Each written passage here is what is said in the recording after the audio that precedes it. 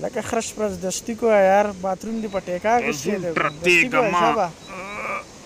زموږ ټیز مار مړ استاد الله سم پونم نه د پاکړ استپدی غولو کې مم خپونه کېدا لکه خرش پر دشتی کو یار باثروم دی پټیکا کې دی دشتی کو شابا